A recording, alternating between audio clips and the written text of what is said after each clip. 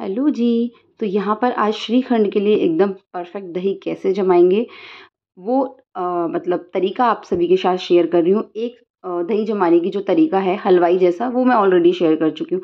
श्रीखंड बनाने के लिए आप चाहो तो जो मैंने पहले शेयर किया था वीडियो उस तरीके से भी आप दही जब बना सकते हो उसमें कोई भी मिल्क पाउडर की ज़रूरत नहीं होती बिल्कुल एकदम गाढ़ा परफेक्ट दही बनता है। तो यहाँ पे देखो का क्या हाँ, क्या कर रही हूँ मैं? एक लीटर है ना फुल फैट मिल्क ले लिया है, ठीक है?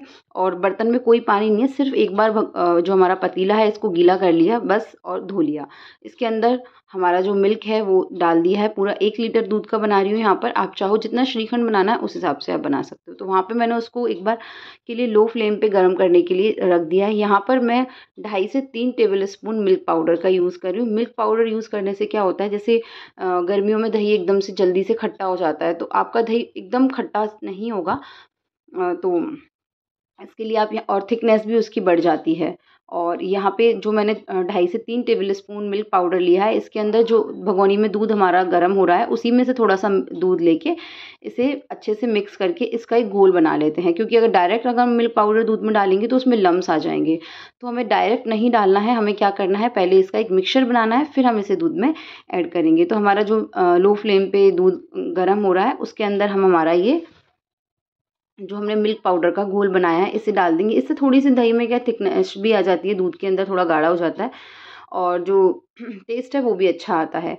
आप चाहो तो रेगुलर बिना मिल्क पाउडर के भी बना सकते हो, वो भी बहुत अच्छा लगता है और बहुत अच्छा हमारा दही बनता है। बस ये छोटी सी टिप्स थी इसके अंदर कि मिल्क पाउडर डालने से थोड़ा सा दूध, हल्का सा टेक्सचर चेंज हो जाता है और टेस्ट भी थोड़ा सा चेंज हो ही जाता है।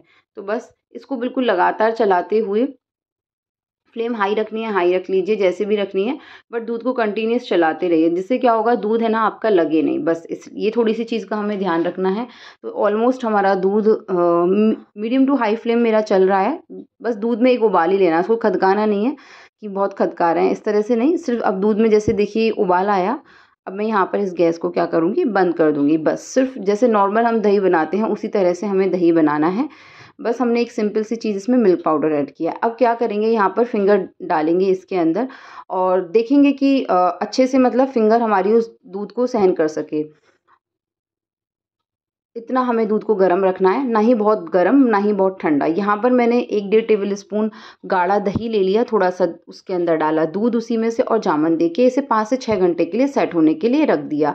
अब जैसे हमारा ये दही एकदम बन चुका है, इसको आप चाहो छेड़ने से पहले एक बार फ्रिज में रख दो ताकि और अच्छे से सेट हो जाए। दही में देखिए बिल्कुल भी पानी नहीं है थोड़ा सा वीडियो में दिख नहीं रहा है अदरवाइज़ इसके ऊपर एक बहुत अच्छी सी लेयर मलाई की, आई हुई है। तो एक बार इस तरह से दही जमा के ट्राई कीजिएगा।